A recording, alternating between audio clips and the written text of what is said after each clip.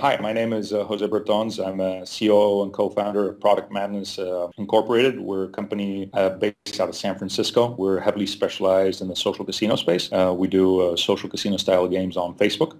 We've been using iTransition since practically, I believe, early 2009, and we've been super happy with them. We started off with a very small collaboration of about two employees that quickly grew up to be a team of about 12 that we have on a permanent basis. There is just not enough I can say about how positive our interaction has been with them. They are extremely efficient in everything they do. We have a very agile development with them. We're constantly pushing to production, uh, very responsive teams. We're really, really happy with, with the guys that we have. The technical level is uh, really up to par with uh, anything we'd find anywhere, and, and, and they go way beyond there. Product Madness is one of the leading uh, developers in, in the Facebook casino space. We have some of the most advanced technologies because we have some of the most advanced technologies, and we're always at the constant cutting edge of what we're doing. We're constantly facing different technological challenges, things like WebSockets or enabling huge uh, growth are uh, problems that we face on a day-to-day basis. Over time, the teams that we've created both within Product Madness and iTransition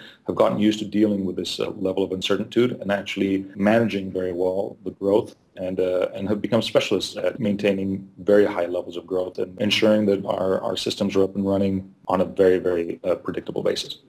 We utilize most of their services, so not only do we do coding through them, but we also do Flash front-end development. We also do QA systems uh, through them. So we've done um, investigations into UX and uh, how people interact with our games, and they provided us with a lot of feedback. Hopefully we'll continue to utilize them for many more years to come.